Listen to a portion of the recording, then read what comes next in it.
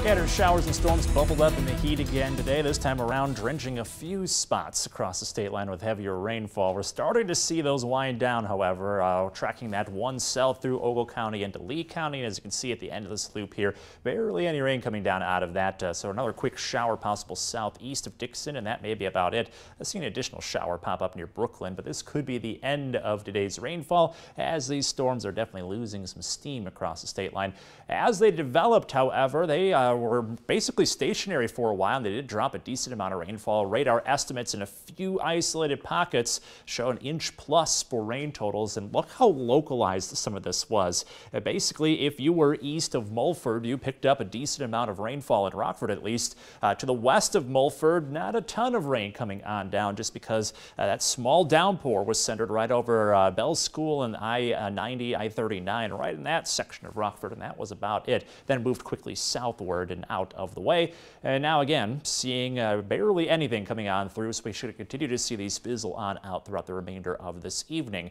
Still looking at some heat out there, at least for the next couple hours. Heat advisories remaining in effect for Stephenson County until 7 p.m.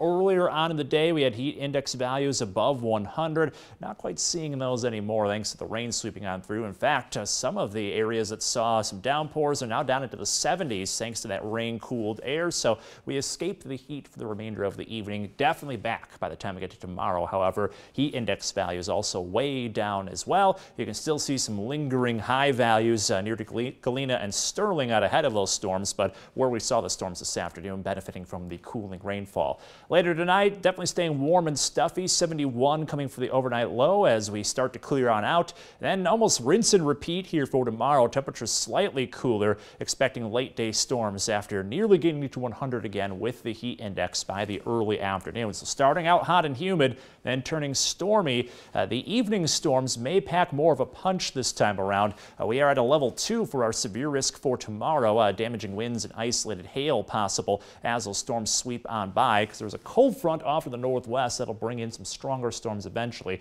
Here we are early Thursday afternoon. This is when we could see a couple of these afternoon storms bubble up in the heat. Similar to today, these will not be severe, but plan on after about 2 o'clock some isolated downpours like today. Then later on in the evening, that cold front approaches and note uh, the uptick in intensity here. Stronger storms sweeping on in after about 5 o'clock. Here we are at 7 with some strong storms and heavy downpours as that front sweeps on through. Should see those gone by about 9 p.m. tomorrow and then lingering rainfall possible into Thursday night before we clear out and settle down on Friday. Uh, so leading up to that point, flash flooding and damaging wind gusts the main threat after about 5 o'clock tomorrow. So again, storms possible early, but then later in the evening is when we do have that low risk for some severe weather. So standard tows have the 13 Weather Authority app handy for updates as that's when we could have again uh, some stronger storms in the mix. Behind the cold front, we don't drop off a ton, but we do get out of the 90s for a couple days as well as seeing the humidity drop some. We're back around average by Sunday and Monday. Then late next week, another heat wave possible. Could be even hotter than the one we're starting to exit. So we'll have to keep an eye on that for late next week, James and Kristen. Alex, thanks.